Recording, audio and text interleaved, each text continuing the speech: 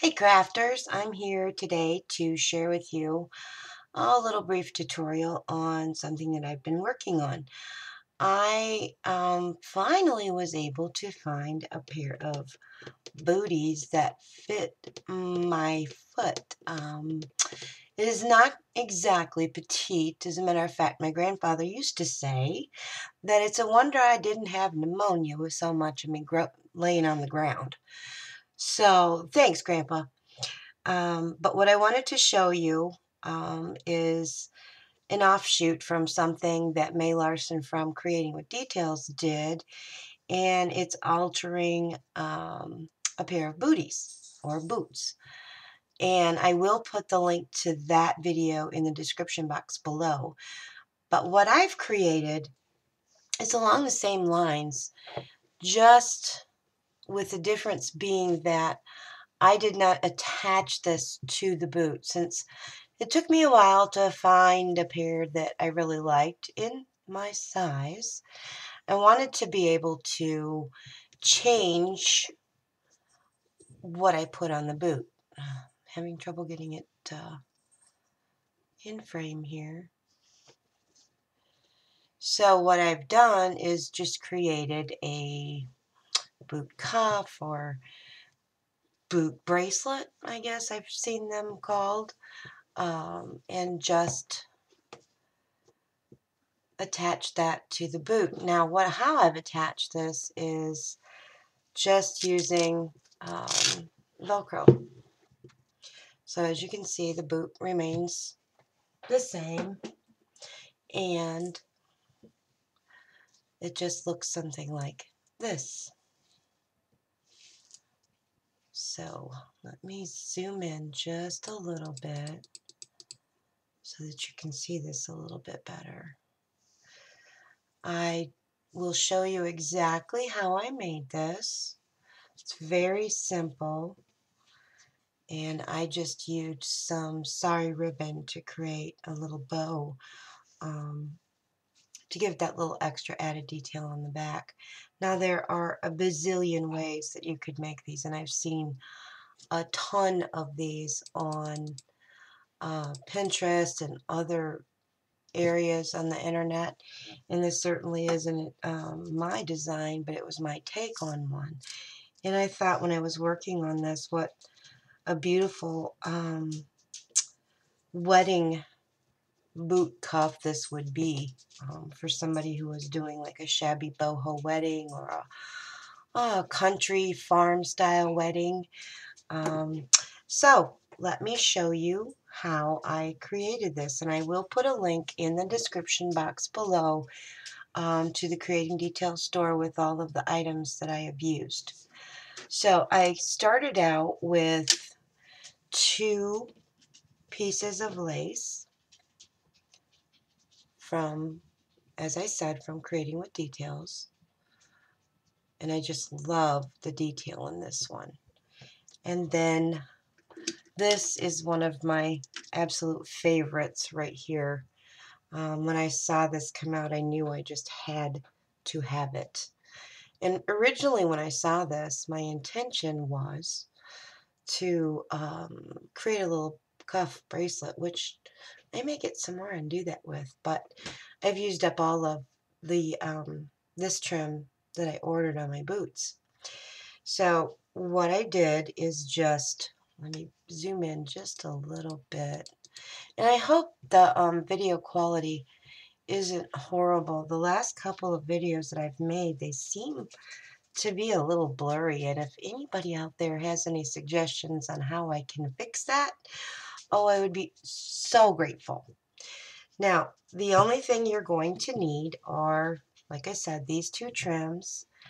You're going to need, um, I use this beautiful um, button. It's a vintage style button that Creating with Details is carrying. And I used some of this really pretty, it would help if I had it right, it's kind of a pearl and rhinestone trim. You'll also need um, a piece of Velcro with the two pieces. And to cut this, I simply measured the width of the lace and just cut that accordingly. Now, even though this is sticky back, I still um, reinforced it with the hot glue gun, which is what I put this project together with. So you'll need some of that. Or you could even use a snap if you if you have some. And they have some really nice magnetic snaps that they use on purses that you could also use on this. Um, and I'm also using um, this fantastic new um, bead set that Creating with Details has. It has so many beads in here. They're flatback pearls. I'm sorry, I'm saying beads. They're flatback pearls in a variety of sizes. Now this is really a pretty simple project. You'll also need a pair of scissors to uh, cut your trim with. So, to get started, I simply laid this piece here and making sure that I have the right sides together or the wrong side, wrong to right side, right side facing up. Um, I just simply laid that out on top of the bottom lace like that. And hopefully my glue gun is heated up. And I just started gluing right here,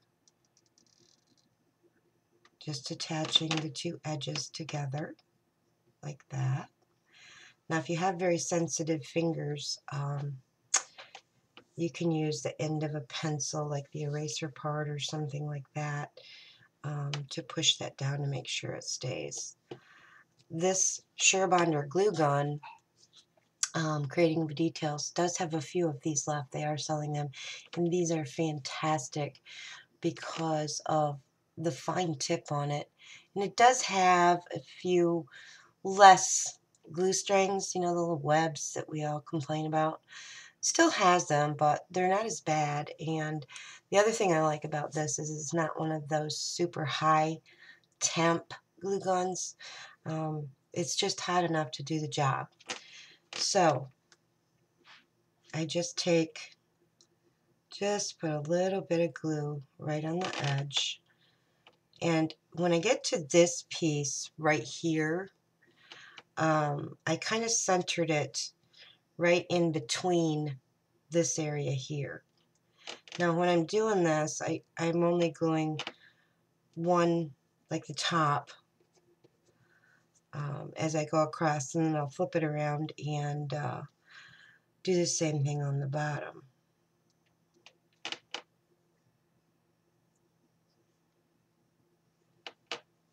I just kind of eyeball it and try to keep it you know, along, I'm trying to keep it along this edge right here.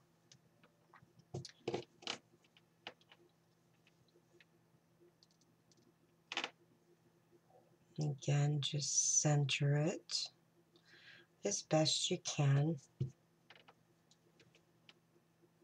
And glue all the way across. I'm sorry, ladies, if this is a little bit boring. I can't fast forward or pause with my current webcam.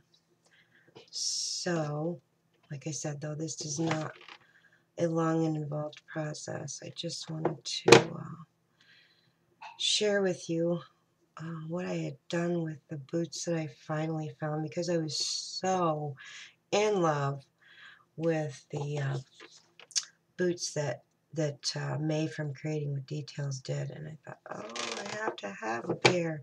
It took me quite a while to find them. Um, either I couldn't find them in my size, they were the wrong color, or they were just just outrageously expensive.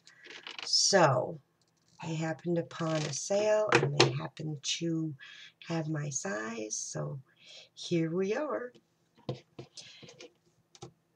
Now I'm just going to glue this end right here and then flip it around and very quickly do the other side. Now, I've also cut, there was a, enough of this trim here that I cut a piece off at the very end. Um, it has the little dangles on it. And I am going to um, fold this in half like this. So I know that this center medallion right here is where I want to attach this extra medallion with the, the little dangles on it. I did too want to mention that in order to um, make this, what you're going to need to do is measure around like the ankle part of your boot and that will give you the measurement for how long you need to make your your trims.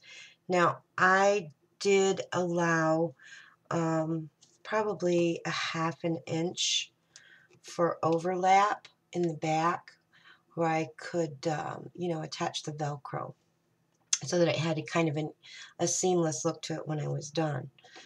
So I'm just going to quickly glue these on here. Well, bonehead. I'm trying to glue the end I already glued. I'll be alright. I promise I will. Someday, somehow, I'm going to be okay.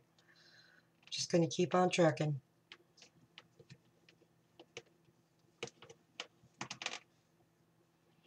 and I'm doing the I'm doing a no-no. I'm doing this right on my desk, and you can probably see uh, what a bad habit that is because I have marks and stains all over my desk, but I need to get a new wipe off one of those miracle mats that you can uh, glue on and paint on and it just wipes off. I made a bad error in judgment um, and let the grandkids play with it and they used pokey things and now it has all kinds of cuts and whatnot in it. So I have to get a new one. Okay, so now I have this part done and you can see the little dangles in the middle.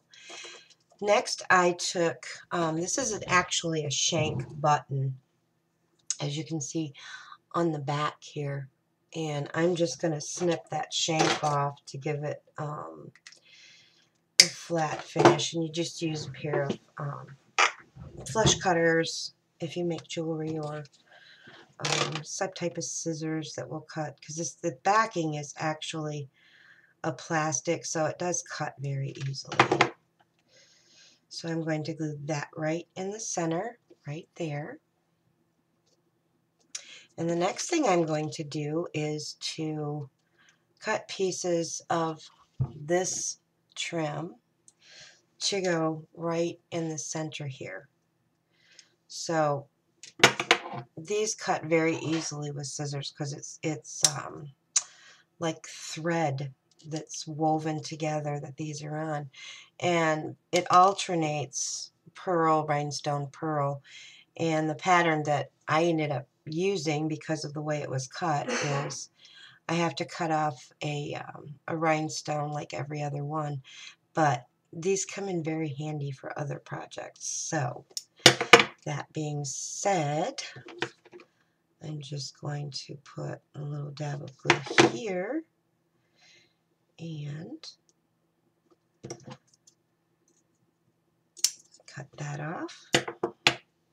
Now see where I put that on there we end up with the first part being a rhinestone. So I'm just cutting that off. And if you count, it's one, two, three, four, five. So one, two, three, four, five. Just cut that off. Run a bead of glue.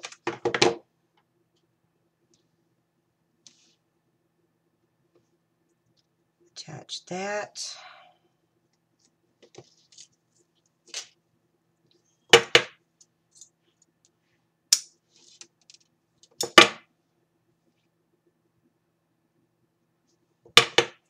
These are absolutely beautiful. I know that the camera is not doing them justice, but it's just the right amount of oh, bling and I guess kind of the classy pearl look. I absolutely love this. I've this these come in one yard lengths and I've already used these on several projects so you get a lot of bang for your buck.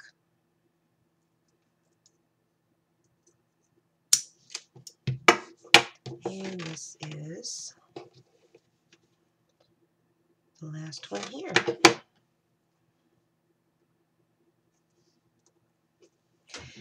Now the next thing I did was to take these flat back pearls and just lift them up in there and I'm gluing these right in the center of the, the flower medallion here. So there's one, two, and even though this is on the end, I'm going to put one here because this is going to be the front, like right here where the Velcro goes. This is the front. The other end I did not attach because the Velcro goes over top of it. So I didn't put a bead on the other end here.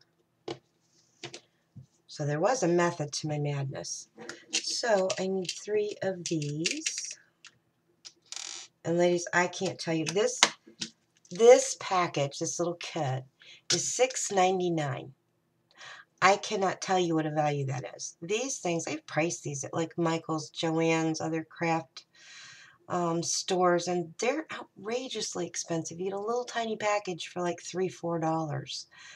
This is a phenomenal deal and it comes pre you know it comes packaged just like this filled to the brim with all of these flatback pearls so you need to get over there and get you some because you're not going to find a better deal so again I'm just going to I put a little dab of glue a little hot glue now if you don't like working with hot glue you could use uh, something like um, Fabri-Tac um, it holds really well it is intended for fabric.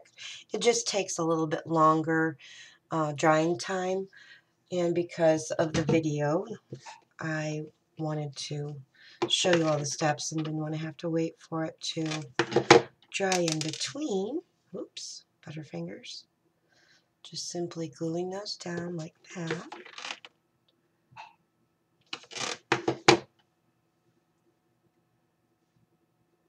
Just like that.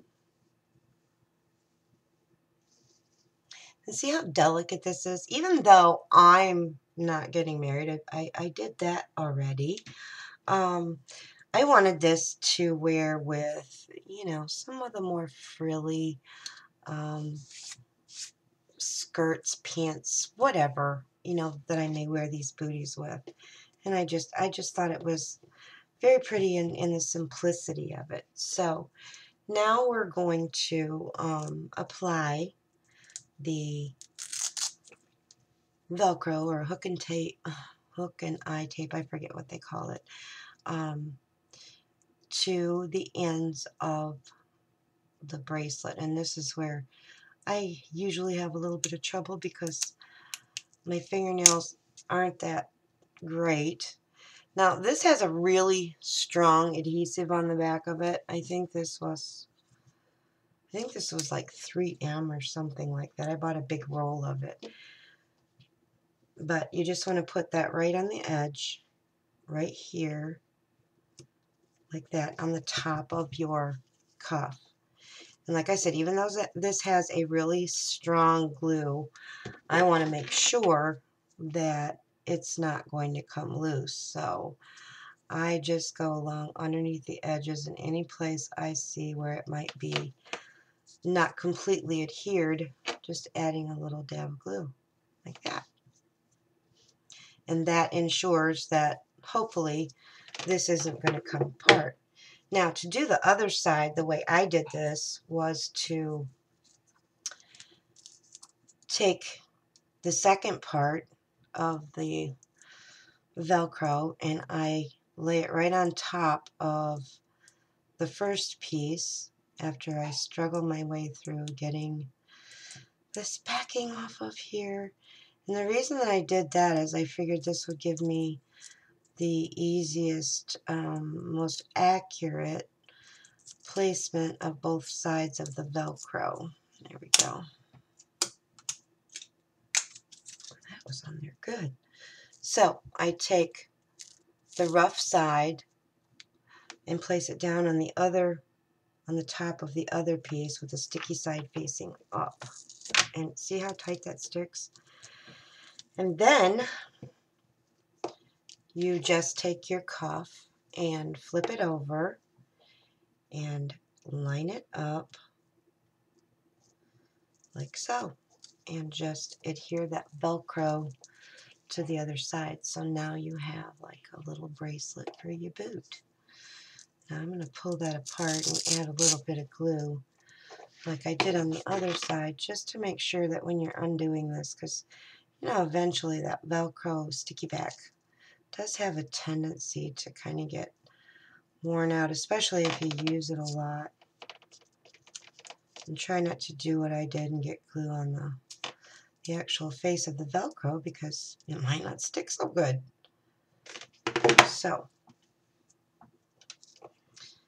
again, you just place the Velcro, fasten it on top of each other, and there you have your, your boot cuff. Now, on this one, I used some um, sari ribbon and just made a big fluffy bow and I simply attach that to the side that overlaps on the boot cuff like right here this is the part that overlaps so this ends up in the center of the back of the boot like that and I will do the other boot cuff to match that but you ladies all know how to make bows. I don't need to show you how to do that.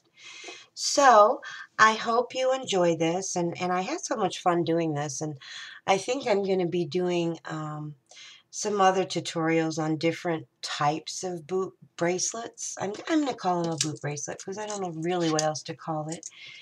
And um, I hope that you liked this and found it um, interesting and, and maybe want to give it a try. And if you do um, try one of these, I, we would love to see what you come up with. Um, I love seeing what other people do and how they create. And uh, if you do, would you please share it with us? Because seriously, we would love to see your creations. So I hope you've enjoyed this. If you do like it, please give me a thumbs up, share, and subscribe. And until next time, please be kind to one another. Um, support each other, love each other, and peace. Bye-bye.